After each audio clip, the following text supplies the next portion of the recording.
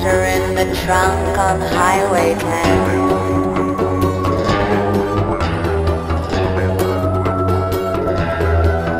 Put the knife under the hood. If you find it, send it straight to Hollywood.